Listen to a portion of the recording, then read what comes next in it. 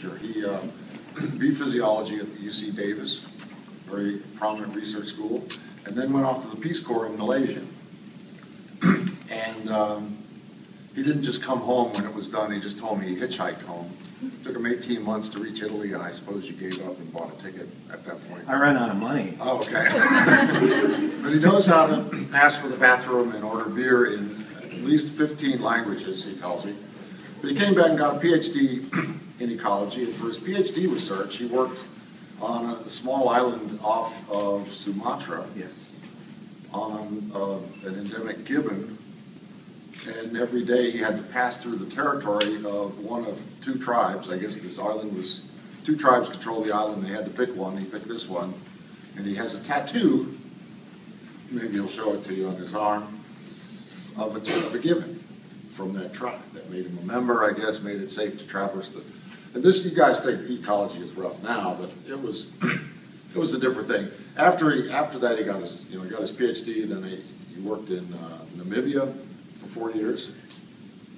And his wife, Janet, bless her heart, went with him, and uh, still supporting him in all of this. He came back and started a career at the Minnesota Zoo starting in 1982, and um, has been a leader both at that zoo and nationally in all sorts of conservation, especially in, well, I don't know if that's true, but certainly in tiger conservation. And he's been, I don't know if I get these titles proper, correct, but he's, you know, he's basically written a manual on how do you manage tigers in captivity. He chaired the Tiger Species Survival Plan of the AZA for many years, and um, was a founding member of the Conservation Breeding Specialist Group of the IUCN, which is a group that's targeted on endangered species, originally in captivity, but now captivity and wild. Um, and it brings all sorts of experts together, and they deal with issues such as, you know, pandas, or freshwater dolphins, or tigers, or grizzly bears, individual species at high risk, where they bring workshops together of people like this, and they, at the end of these discussions, they come up with a plan. And literally, this was modeled after a CBSG working group session. He spent uh, 12 years in the field working with tigers, extensive periods in the field. He basically funded an entire national park in Indonesia for many years, for 12 years, from 250 to 400,000 dollars a year, buying fuel, buying, I suppose, guns, paying salaries, paying the expenses while they did research, and he became a very passionate defender of tigers. While he was there, he other, also studied tigers all over South Asia. When we met him, I actually met him through uh, some zoo committees, and when the Tigers, Tigers for Tigers was really getting organized, we wanted to have a speaker, and Ron was the first person we brought. I said, I know a guy. And uh, we brought him to campus, and he gave public lectures, and he came to classrooms, and, and so on. And um, later that year, one of the things we asked him was, Ron, you've been all over Asia looking at tigers. Where can we go to see tigers in the wild? And he said, I've spent my whole life studying tigers. I've never seen one in the wild. I've tracked hundreds of them for research purposes in the jungles of Southeast Asia, but you know you can't just walk up on a tiger in the wild. Um, they'll stay away from you. And uh, and then later that year, he went to India to receive the Kailash Sankhala Prize or award for his work in tiger conservation. And I guess Anjana met him then, and Pradeep Sankhala, and they took him down to the parks in central India and when he got back, he was very excited, and he emailed me a picture of himself sitting on an elephant. It was a little one, a little a sporty model two-seater. Um, he was about this high off the ground. And then another picture is there's a tiger here, and there's Ron and Pradeep and a mahout on elephant. There's his tiger. He said, Dave, I know where you can see tigers. And the next year, then Pradeep Sankhala was our honored guest, and he said, well, you have to come to India to, to see our tigers. And we said, sure. And the rest is history. Um, so I have to thank Ron for that. Um, and, you know, we've got some passionate defenders of tigers here. And um, anyway, he's won all sorts of prizes and he's published 300 popular and scientific articles. I should mention he co-edited Tigers of the World, Biology, Biopolitics, Management, and Conservation of Endangered Species in 87. Um, the Management and Conservation of Captive Tigers in 94, which is now translated into the national languages of Thailand, Indonesia, Russia, China, and Vietnam. And in 2010, Tigers of the World, the Biology, Politics, and Conservation of Panthera tigris, second edition. Ron is a real expert, and he knows the politics, but he knows the biology conservation of tigers, and also the captive, uh, the captive population. So it's, it's a great pleasure for me to have you here. Thank you very much for coming.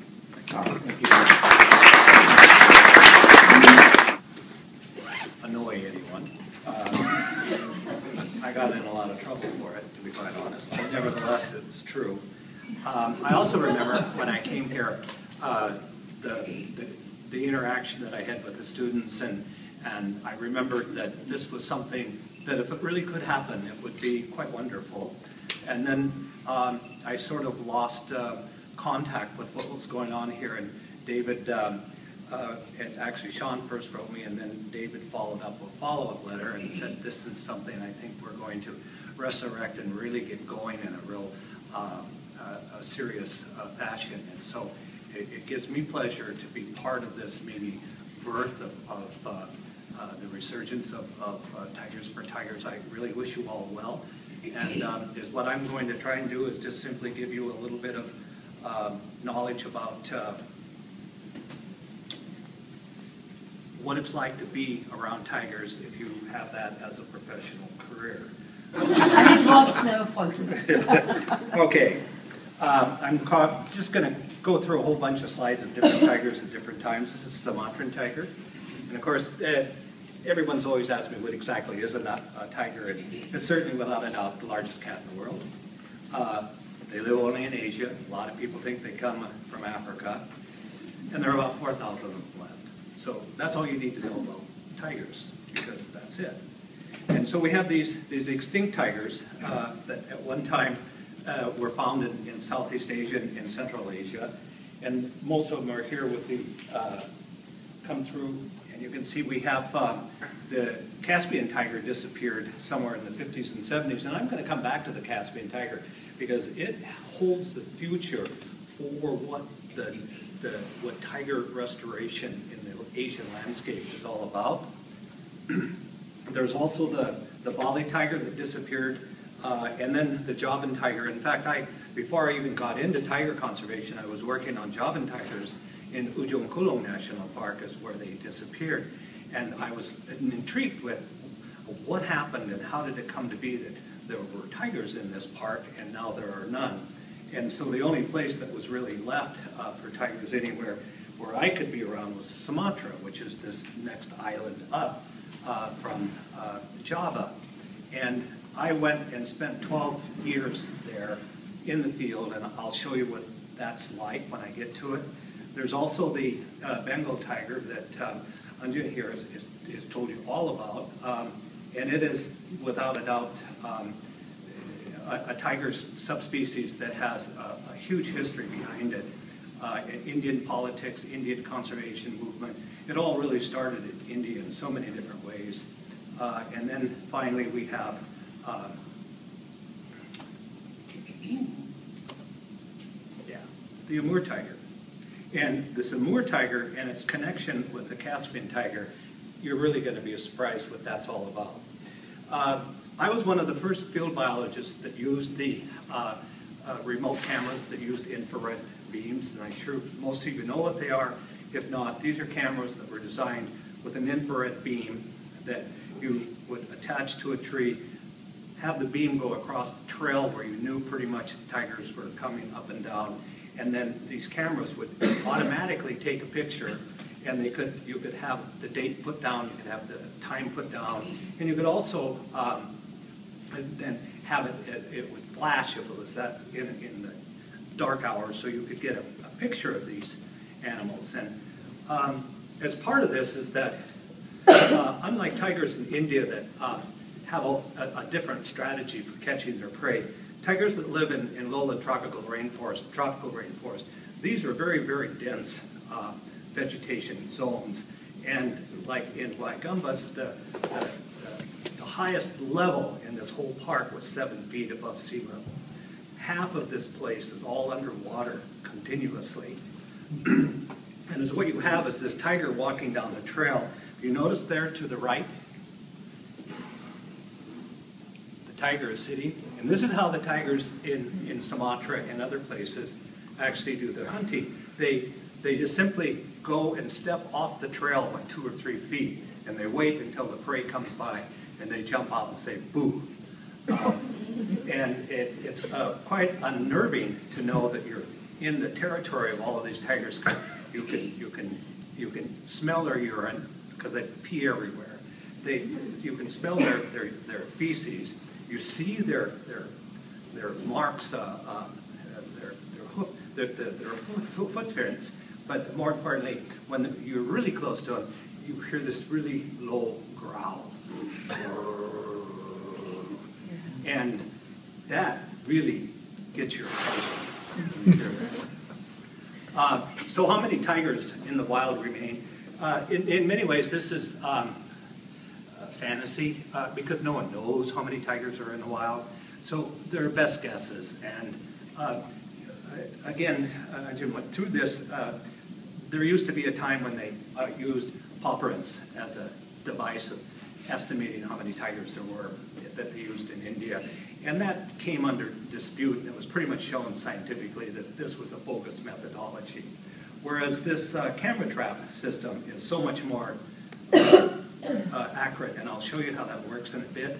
But we do know that as many as a, oh, 100,000 tigers were probably living in Asia uh, at the beginning of the 20th century.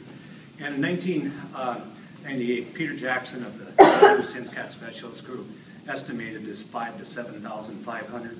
And I don't really know where he got that number, but that's what it was. Um, And then here we have this estimate that came out of uh, India in 2002, and then in 2007, you can see it's dropping. And the most recent published peer-reviewed uh, estimate is about 4,000, anywhere between 38 and 5,100, that John Seidensticker and a number of his colleagues put together. Okay, here's, here now we're getting into the real issues about tiger uh, uh, conservation, the future of tigers.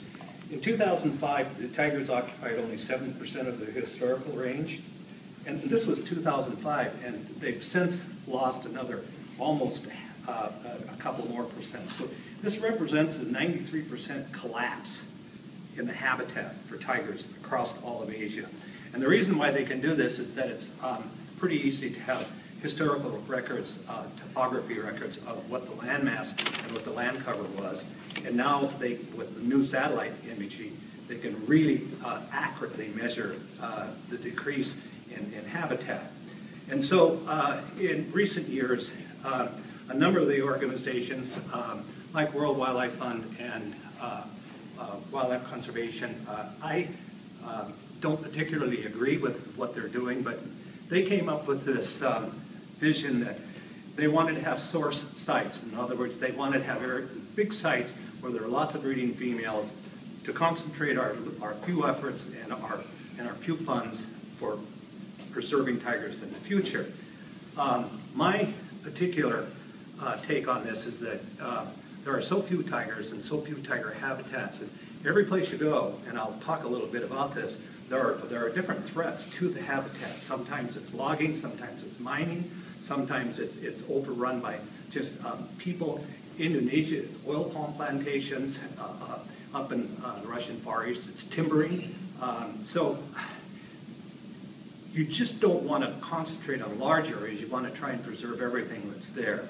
And the other way I put this is that um, imagine if you um, started out um, with $100,000 with a financial advisor as part of your 401k. And over 25 years, this financial advisor lost 94%, 93% of your, and he comes up to you after 25 years and says, geez, I'd like to have another 25-year contract with you to manage your money. Would you hire the son of a bitch? Guess what? These are the very same guys that on their watch lost 96% of the habitat and 95% of the living tigers on Earth in Asia, and they're still in power. And so I think it's time for a change. There's a historical map, uh, and this is really kind of fun because uh, it kind of shows, most importantly, where the tigers that came uh, out of up there B and D. Because what they could never figure out about the Caspian tiger is where did the Caspian tiger come from? Which is way up there, and it's on the edge of Iran, uh, Tajikistan, and all of the other uh, Stan countries. And it went extinct very early because there weren't very many of them, because mostly they lived in the river valleys with, um, in reeds where the deer lived, and those were cleared uh, by the people that lived there, and pretty much the whole habitat was just simply destroyed, and all of the tigers were lost. So a very, very clever molecular biologist, uh, Carlos Driscoll, went and followed the Silk Route through these areas, and all of those little spots where you see the maps or the little green dots, he went into the museums and collected samples. And from the hair, he extracted the molecular DNA, because only in the last, oh, something like uh, the last 10 years, the, the methodology has been developed in the last five years, it's become very sophisticated. And he made a most astonishing discovery. Uh, astonishing. If you look at the real, the real origin of the Caspian tiger is the tigers that came from B. They came from the Amur tiger population and crossed over through the rivers and followed the riverbeds down through all the way over to where you, where you see BIR. Then these tigers had a second migration back to the Russian Far East and populated that population. The Caspian tiger and the Amur tiger are molecular identical individuals. They're one and the same. So they're thinking, seeing how all of those are gone, and seeing how we have lots of Amur tigers, why don't we think about restoration? And that's what is happening now. And it's kind of an exciting thought because when everyone talks about uh, the future of tiger conservation, we keep looking at our diminishing number of live tigers. And we can't keep protecting the habitat because it keeps disappearing under the watch of these idiots that are now in charge. So what do we do? Well, we now have a new option, and that is simply the restoration. And so when we look at, that was the wild tigers, and now we, let's just, let me mention a little bit about the world's tigers considering captive tigers too. And we know in zoos we have these managed tigers and unmanaged. Managed means these are the tigers that are in the Tiger SSP, um, which is the species survival plan. And at the, at the root of all of that is that any tiger that is in this uh, essentially managed plan, we can trace its lineages for up to 10 generations, all the way back to its wild-caught mother and father, and we know exactly where it came from. And every one of the births that were, that were made were all registered and all confirmed. And so we have this something like um, uh, 30 some years of, of, knowledge of where these tigers came from. And so we know what their, what their, their genetics are. But then we have in private circles this whole mishmash of, of, of what we call private tigers. And there's, there's approximately 10 to 11,000. And we know that we haven't counted them all because they're, they're all through uh, the United States. and so we have a total captive population of 13,000, another total somewhere around four and a half. So something like 17,000 tigers. And of course, a good number, uh, about of that private number, 5,000 are in the United States and another 5,000 are currently living in the Chinese sweatshops of, um, that they have in northern uh, China. And the Chinese have this idea that they're going to breed up to 20,000 tigers as in, on tiger farms, and they're going to use their products in traditional Asian medicine. I will get to that. And then uh, we move to the next issue is how did some of all of this happen? And of course, conflict uh, with tigers, tiger-human conflict has a huge uh, impact. One of the things we did, uh, we went through the uh, uh, databases going all the way back to the 1800s. And I'll even have, I have some knowledge there. We actually have data going all the way back to two and a half thousand years in China. For some reason, the Chinese documented every single bite and every single killing by tigers in China over an incredibly long period of time. And it was in archives, and a guy named uh, Coggins actually went to China and got a couple of professors to help him translate all of this and extract that data. And so you have all of these, these crazy wild pictures of these guys, you know, hanging around the gangs that killed this tiger, and, and then the, the British Raj and, and all of their uh, tiger hunts. And, and it wasn't just the British, the, the, uh, there's a lot of people who, uh, the, the, the wealthy Indians. were Royal also- The royal families were involved. Going to just move on. And what happens when uh, all of this happens with, uh, you have tigers uh, killing people or killing livestock or just terrorizing villages and eating their dogs, is what happens is two things. They either get shot killed or uh, you capture them and uh, bring them into some zoo. And this is a particular male uh, Sumatran tiger that we actually captured in um, southern Sumatra that had killed and eaten three different people, two men, one woman. It was a man-woman eater. Yes. And uh, one of the things I I distinctly recall, because we were brought in uh, to help kind of um, process this, because we we found, they called us in and we went hunting and we found the bodies. And it's a pretty gruesome sight to see what a tiger will do to human bodies. So we we packaged them up in plastic and brought them out. And then we set up traps. And people always say, well, how do you trap tiger? And the Indonesians are slick. They build just a simple, really strong wooden cage uh, with a simple trap door, like a box with a sliding door, and with a, a lever that goes back, and they take a goat, a little small goat, and they cut its ears off and spread the blood around and throw the ears outside. And the little goat goes, meh, meh, all night long. And the tiger comes, smells the ears, yum, yum, eats those, walks in, you got it. Door goes down. So now you have a caught tiger. And there was some smart-ass reporter who um, said, how do you know that's the tiger that killed the uh, people? And I knew it was because then something's going on here. Okay.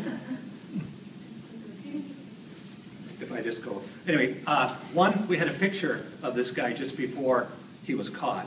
And second, I pointed out, if you look in the corner of the page, of the cage, you see where he's just pooped his, do you notice what's in there? It was the white underwear of the man he just ate. I know, it's gross, isn't it? That's what field biology is all about.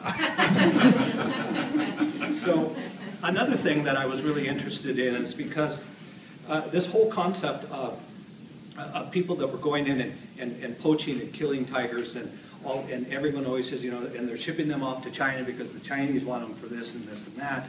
Well, I was really curious, was, was this true? And so we actually hired um, uh, an Indonesian who was part of an elite uh, uh, uh, uh, military intelligence force, and we uh, hired our own, um, essentially, information officers. Another name, best name, they're snitches. We hired snitches to go through all the places that lived in the villages, and they would call whenever any of these, uh, anyone from outside was coming in and entering the, the edge of the national park. And, and poachers in Indonesia are just like what happens in India. Th- th- This isn't the farmer saying, oh geez, I don't want to go fishing today, I think I'll go, I think I'll go poach a tiger. Uh, Because they're, most Indonesians are terrified of the forest and they're terrified of being overnight in the forest. But there are certain clans of people who specialize over multi-generations in catching tigers. And so what we did is we would have snitches around the villages, and when these guys would come in, they had cell phones, and they would call our field rangers, who had GPS units and who knew all of the trails and could be at the front of that trail within about eight hours, even walking overnight.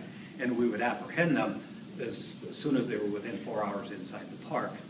And initially, what we did in the early years, our general, uh, and this wasn't me, I didn't make this up, my team decided this is how they wanted to deal with it, uh, is what they did is they, they took everything these guys had, including their clothes, all of their equipment, and burnt it. And then they beat the snot out of them, and then they made them crawl out on their hands and knees and whipped them the whole way.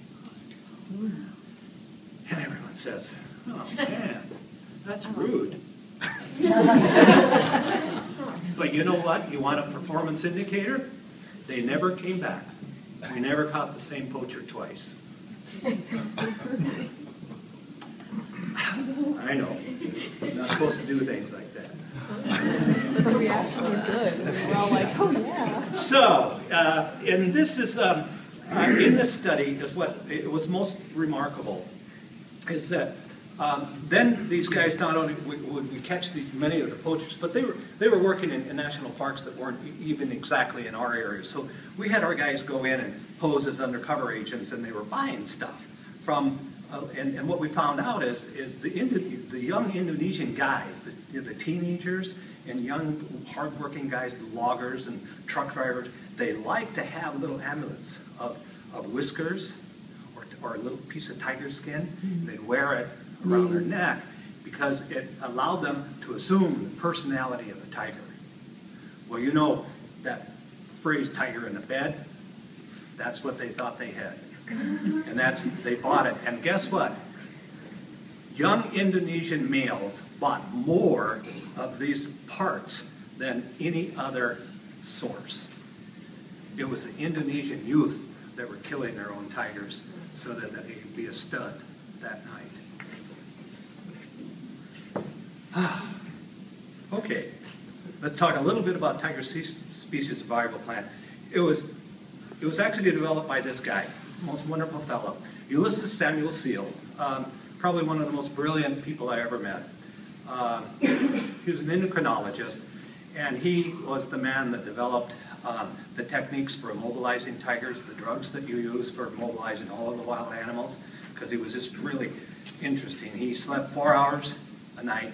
You never had a hotel room with him if you went to a conference, because he'd get up at one in the morning after going to bed at nine, and he would start typing on this typewriter, and then he would start asking you questions.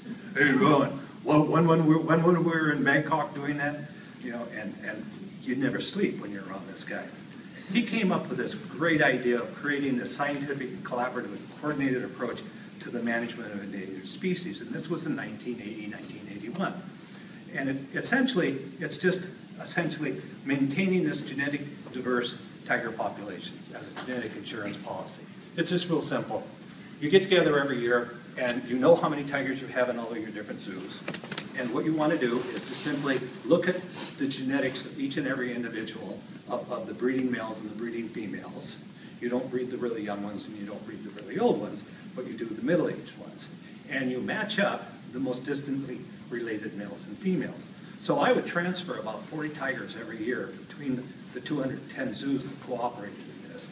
And it would bring together these new mates, and then they would breed and have their young. And we kept um, this uh, going. Uh, I took over five years later, so it was 27 years that I ran this program.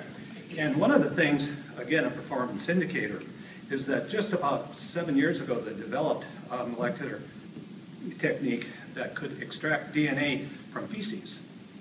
And this was a real find because what we could do is we collaborated with the Siberian Tiger Project run by Dale Miquelle in the Russian Far East, and he collected feces from wild living Amur tigers. And we brought it to the United States and we compared it with Amur tigers that were not out, uh, were, were completely separate from this living population. And they compared it. And the genetic diversity between the captive Amur tigers in North American zoos is greater than that found in the Russian Far East with the wild tigers. Quite uh, significantly so, It's something like 96 to uh, 88 percent.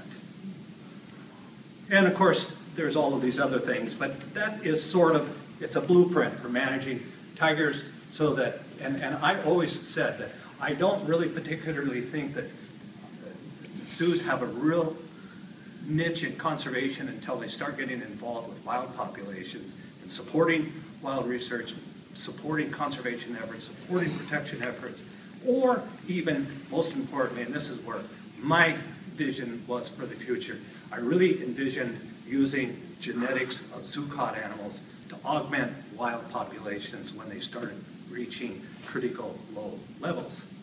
And so we have the master plans in the stud book. These were kept by a lady who worked for me uh, for a number of years and still does. And uh, since 1982, um, this is kind of a nice factor, uh, I, I was essentially the guy who managed, no, I didn't manage because the zoos really did it all, I just sort of was the head of the committee. Uh, 419 uh, young tigers were born in this population, more than in the wild, uh, that lives in the Russian Far East right now. So I felt good about that, and so here's a mother with her tigers, and now here's the other side of the coin. This is what China has put up. It reminds anyone who has any real knowledge of uh, World War II, uh, the Nazi extermination camps at Dachau and Yes. Buchenwald. It's exactly the same. They take these tigers, uh, they, uh, they throw the female in when she comes into estrus uh, with a number of males, and then she delivers cubs. They take the cubs away from her immediately and stick them on sows. And the sows, the pigs, nourish the tiger cubs. And as soon as you take the cubs away from a mother, her oxytocin stops, and so she will come, she will stop uh, uh, production of milk, and within 30 days, she comes back into estrus. So they'll breed this female three times a year. This is against the nature. It's against nature. It is not natural. Uh, And then those cubs are taken and put in with sows, and their goal is to get 20, they're up to about 12,000 tigers now in these camps, and they're going to 20,000. And everyone is really quite upset about it, and I can understand why. And I'm, um, I really have a lot of respect and admiration for the Chinese, because I'm going to tell you a little bit about them, but that part really annoys me. Okay, now I'm just kind of jumping back to the field because all of this was a progression. Um, I started this in 1995 is when ExxonMobil decided to start up the Save the Tiger Fund, and I was one of the recipients of, um, they vetted me and decided that I was going to receive a lot of money, and I did, but I didn't have to kiss the devil.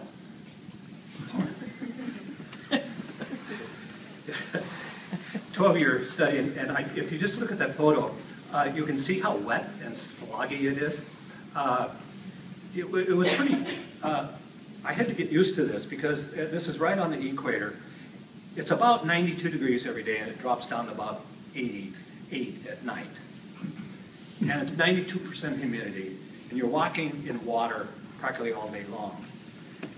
And we had these cameras, which I'll show you, stretched out over 126 kilometers. And it would take us three days and two overnights to change the batteries and change the film. And um, during that period of time, um, and all of the other surveys, is what happens, two things, is one, um, all of the skin from your knee down sloughs off, like a snake changing its skin. Um, and two, um, all of the little, ugly little, um, what are they? Thank you, yeah. I was thinking something worse. The little leeches, the little leeches burrow through the, the, the, where your boot uh, shoestrings are. And go through your socks, and they start on your ankles, and then they start moving up your leg. And you had to, after, you know, after you take your foot off, uh, you'll have a cup of blood that will pour out because when the leech drops off after sucking you for three or four hours and when it's full, it still has uh, injected enough uh, anticoagulant into the wound, so it continues to bleed and bleed and bleed and bleed, and so you lose all of this blood. Uh, but it really gets worse when they get up into your underwear. Now we're talking, now we're talking important stuff. And I used to really hate that. Um, But it was part of, it was part of the life. And so there I was on the fifth largest island. And by the way, David, uh, the four Mentawai Islands are these four right here. And I was on this island right here. Okay. And then there's these three down here, and this is the big island, Stone Island, Neolithic Island, Neos. That's where I did my four-year period of study. And here we have, uh, think of California. If you put California up against this, it's exactly the same, except California has mountains on the west, or on the east, and this has it on the west. It's the same shape, same length, but there's 45 million people living on this island. And um, 80% of them are under 21 years old. So it's going to really have a real problem. There's seven national parks, and um, here's where we were doing our work. This is uh, the study of the lowland rainforest where I was working, and this is the park here. And we had an area that was about here. This is about 40 miles by 30 miles, okay? 100 and- 130,000 hectares. And then we had our GIS maps that showed where the vegetation was. These were all villagers right here, so it was a hard boundary. And that's where we set up shop. I hired um, seven Indonesian field biologists, and over the course of the next several years, I added 22 rangers. Um, I speak mainly, I speak Indonesian, and I only spoke Indonesian when I was there. No one ever spoke English to me, and I wouldn't reply in English. Um, and these guys were um, really pretty good at what they did. And so here are the, just to show you the, the sites of where the cameras were all located. And um, we would go out and initially we tied our uh, cameras, our infrared cameras, to trees. But what we found out was that at night, elephants move from one feeding area to the next. And elephants, when they're walking down a trail and the flash goes off, it pisses them off. Elephants don't like to be flashed. It scares the bejesus out of them. And so they would, they would take our cameras and smash them. They'd pull them off, and sometimes they'd throw them 30 yards away. So we came up with this ingenious idea of uh, putting together uh, essentially this, we welded together this rebarb, and then we dug a, a one meter hole, filled it with cement, pushed the legs down in, and then wrapped it in barbed wire, and, whoops, go back. That doesn't matter. Is what happened is, uh, it really worked. Uh, because the elephant really would grab things with its trunk and you wrap it in barbed wire. They don't like that, so they left our things away. And this is how we, we would sleep. We would just simply, now it's real important when you're out in a place like this, you don't sleep anywhere near the, trail. Because as remember I told you that elephants move from feeding place to feeding place. And if you're sleeping out on the middle of the trail, they're going to step on you. Because sometimes there's 10 or 15 of these guys all in a line. So we would just lay out um, uh, a, a tarpaulin, plastic for the bottom, and then a rope or a branch with a tarpaulin over the top because it's always dripping. You know, it's drip, drip, drip, drip, drip. You know, they always, I always said there's, there's, there's four seasons in, in, in, on the equator. Rain, rainier, more rain, and lots of rain. And then it goes back to rain. Um, when you go out on these uh, three, four day trips, um, we would have to carry our own food. And what you do is you wear um, one pair of field clothes. And usually for me, it was a pair of socks, a pair of boots, um, pair of shorts, no underwear because you get rash really quick out there, and a t-shirt and a hat. And in your pack, you have a Ziploc bag that has the same things. So when you get at the end of the day and you're making camp for the night, you go and, wash in the little stream, and then you take your warm clothes, they're cleaned, or dry clothes out, and put them on. And you get up in the morning, you're feeling pretty good, and you put, you take all of your dry clothes off and you put them back in the bag. And then you get to put on your wet pants and your wet socks. God, I hate wet socks in the morning. I never got over it. I hated wet socks. Uh, But if I took extra dry socks, all the guys would know it, and make fun of me all day long. So that's how we did things. And so, here we are with some photographs. And this is, um, we have some beautiful photographs. This particular female, uh, she's called uh, Imas. I let the guys um, name them all. Uh, Chin Chin Imas, is um, ring, and Mas is gold. And she has, from both sides, this continuous unbroken band. Goes right around and very distinguished. And these, these stripe patterns are like individual fingerprints. You can tell every tiger instantly once you get the, the, the eye for them. And Chin Chin Imas, um, she was like a real uh, prima donna. She wa- walked through the cameras constantly. I think she was really uh, happy with herself. And uh, then she disappeared for three months, and we thought maybe she was something happened or poachers came in. And then she showed up with her three cubs. These are four-month-old cubs that she has, and here they are, uh, same cubs at uh, about nine months of age. You See, they're sniffing that camera uh, stanchion there, not playing with it. Um, This is one of the males in that same territory, and could well have been the father, but we don't know that. Uh, They call this guy, and you can tell he's a, a much older, a very mature male, because the males uh, develop these real dark mutton chops on the sides of the face. And uh, they called it, this guy, Gembong Rahwana.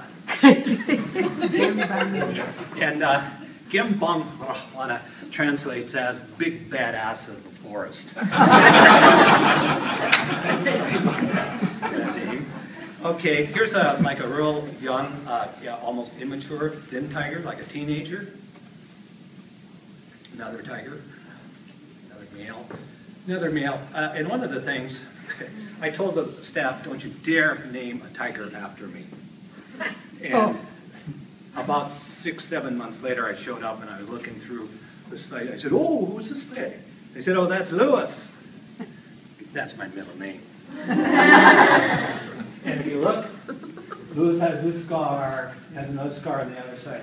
It turns out Lewis just got his butt kicked everywhere he went. he, he was really a wussy man. I was really embarrassed about that in a sense. Um, okay, more tigers, another different tigers, and we just have. Uh, over the course of uh, 12 years, we took 14,788 photographs. Uh, Um, and so it's, uh, it's quite a, an inventory. Another guy. And those were all just tigers and not Um, else? Some of them were other animals, but a good share of them were tigers, yeah. Yeah, we were really good at photographing tigers. And so that's, eh, we kind of come to my talk here. So why are tigers so important? Because where tigers live, biodiversity thrives. And these are the other kinds of photographs, the different ways that the internet works. And I only uh, bring this up uh, simply because uh, this is something that I helped start at the Minnesota Zoo for the zoo. Uh, zoo. What we're trying to do is duplicate a model developed by Sarah Christie in Europe with the European zoos. Because what was going on is you get these European zoos, North American zoos, and they all want to do a little bit for conservation. So they want to send, you know, $100 here, 500 here, 10,000 here, 15,000 here, $10 here, and they don't know where to send the money and they don't know how to follow it up. So she came up with the idea, let's get a group of people together and, and call it, uh, she called it 21st century. The zoos all send the money to ZSL, Zoological Society, and they have a separate account where that all goes. And then she meets with representatives from all of the zoos that contribute to this fund on a yearly basis at the annual meetings. And then they all decide on the projects that they want to fund. And it's pretty close to what we're trying to do now in North American zoos, and it's pretty close to, I think, the thinking that you guys have. And it's not necessarily just funding, because there's this whole thing with this uh, tiger conservation campaign. How many times did somebody say raising awareness? Awareness. How much? How many times did aware? It was it was all over the place. You guys are doing exactly what everything. Uh, tiger photo sharing. You can you can get into that uh, when you go on your, your little trips to India. You can you can post those photos and get a lot of people really excited. And then you have these overviews, and it's it. I just thought, whoa! And I was going to delete these slides because I didn't want to Um, I didn't want to let you think that I was more clever than I am, uh, but I decided I'd rather be more clever. Uh, And remember, I told you all, Global uh, Tiger Conservation Day is July 29th. I don't even know who uh, coined this, I think probably World Wildlife Fund. And I understand it's the summer, and you're all off doing your own thing, so you might want to change that. But it's a good idea. And finally, is what I would like to say is, it's your turn. Don't fail. No pressure.